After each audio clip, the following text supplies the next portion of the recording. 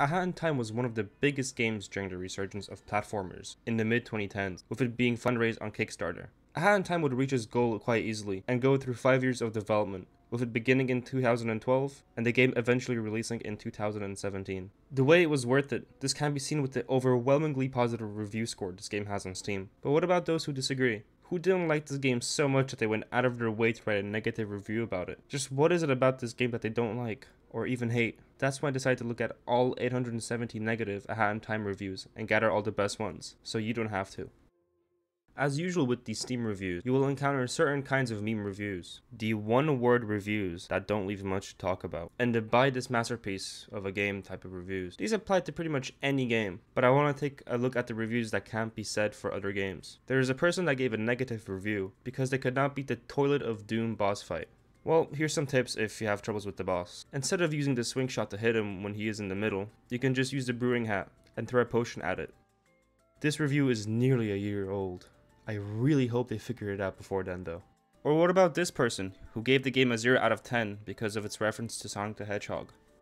This person gave a Hat in Time a negative review because they didn't want to sell their soul to the Snatcher. Even stating that, if I didn't know better, I would think they wanted to be offensive. Now, maybe I'm just missing something culturally, and if that's the case then please let me know in the comments, but to me this just looks like a shitpost. And since we're talking about quote unquote offensive reviews, this one has to be my favorite out of this bunch.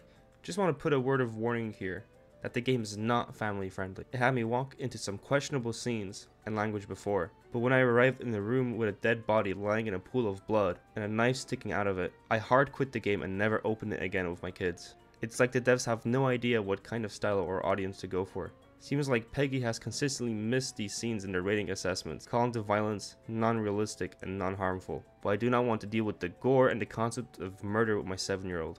For those that don't know, this is what they're referring to. Just look at this. Like I said, one of my favorite meme reviews. But if there's a slight chance that this is real, and this is not somebody just trolling or LARPing, then I feel really, really bad for their child, since they're probably living a very sheltered life. The level design is just awful. It always feels like I'm wrestling with the camera and just trying to navigate the hub worlds. Camera angles are very bad. Half of the time I can't even see where I jump. Hat Kid sticks to the wall and performs wall jumps all the time. I just want to walk near the wall. Some platforming requires you to jump to a very tight platform near a wall or something. When the wall climbing happens, you most likely see a camera close-up without being able to tell what's going on. This happens all the time, and not only with wall jumps. You can't move the camera freely. There is a button that changes the camera view, but it doesn't work well and rarely helps. Most of the time it is useless. This game is heavily inspired by the late 90s and early 2000 platformers like Banjo-Kazooie and Psychonauts, and it carries that inspiration heavily even with the camera issues. But that's only if you take the default camera controls into consideration. If you go to your settings menu, you can see that there are different options for camera controls, and if you don't like the default ones, then just experiment around and see which one you are most comfortable with. Some of the platforms can be very narrow and difficult to land on. I had troubles with the field of view when I first started playing the game, often over or undershooting platforms. It doesn't help when you have narrow tightropes, and just small platforms in general. Thankfully, the game is quite forgiving with its frequent checkpoints, and it doesn't have a life counting system like they do in older games, such as Super Mario 64 and Psychonauts. You have multiple hats, and the hats have powers. To use a different power, you have to switch hats, and they all share the cooldown of the one you just used. If you use an ability with a long cooldown, the cooldown remains, even after switching to a different hat. This review makes a good point. The hats and their long cooldowns can slow down the gameplay quite a bit. The first example that comes to mind is this hallway here, before you enter the Nyakuza Metro. But if the cooldown wasn't in the game at all, then this game would be much much easier. Just imagine if you could spam the Dweller Mask when doing platforming, or you could throw potions without a cooldown if you keep switching between the two. And also, for the constant switching, there are only so many buttons on a controller, so I'm not quite sure how they would implement the system in a different way. General abilities should not be swappable, but available after unlock. You have limited badge space, only one at the beginning, and 3 if you get them all. So basically you have the illusion of choice, because some badges need to be active at all times. Now this is a point that I agree with. When I played this game for the first time, I would never experiment with the badge system, because I always had the hook shot and the Pon collecting badges equipped at all times, and getting rid of those two badges made the gameplay feel a lot more limiting. Most of the hats are useless. Most of them work on very specific parts of the game, and it seems that they are a uncreative way to block your progression in some parts. Well, I mean, that's how the hats were designed. You get new hats, which let you explore areas you couldn't go to before. That's kind of the point. You know, other games do this as well. Like I mentioned previously, Super Mario 64. You have the Metal Mario cap and the Wing cap, which let you explore parts of the level you couldn't before. I don't really get this point too well. And also, the game is designed in a way that you will use all of these hats many different times if you're going for 100% completion. But if you don't like a certain type of hat, then you can just ignore those timepieces which require it, and you will still have enough timepieces to get to the final boss stage. If you're just playing this game for its nice visuals, music, and gameplay. I'm sure you might enjoy it. But if you're playing it for the story like I did, I suggest looking somewhere else. The story was never the main point of this game. The story is set up this way just to give the player an excuse to start exploring the stages, and for the game to have a conclusive beginning and end. Nobody plays Super Mario 64 for its story. Well, I don't really want to read these reviews that are on screen right now. I'll just say that these are the kinds of people that would call me a snowflake if I called them out on some of their beliefs and worldviews.